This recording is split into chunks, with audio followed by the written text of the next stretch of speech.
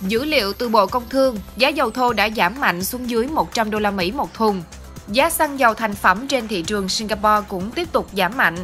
Theo một số doanh nghiệp đầu mối xăng dầu, với đà giảm giá hiện nay và đến ngày 21 tháng 7, nếu giá dầu thô tiếp tục lao dốc thì giá xăng dầu trong nước có thể sẽ giảm sâu.